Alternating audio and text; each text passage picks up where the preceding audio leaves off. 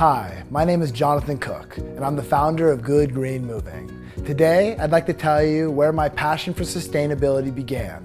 My passion for sustainability started 24 years ago in San Anselmo Preschool from a teacher named Marvin. He taught me about animals and all the atrocities human beings were causing by destroying their habitats. This truly upset me, and I actually got my friends together to clean up the Fairfax Creek where we picked up cigarette butts and beer bottles to make sure that our ecosystem could thrive.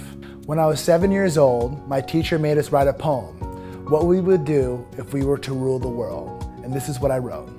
If I was to rule the world, I would end all pollution, no trees would be cut down, no human would starve, and I'd make a combination pizza vegetable. This is what I would do if I was to rule the world.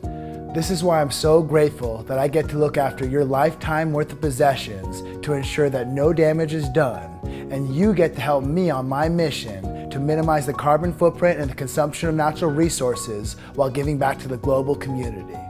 Thank you, and together we will move the world to a better future.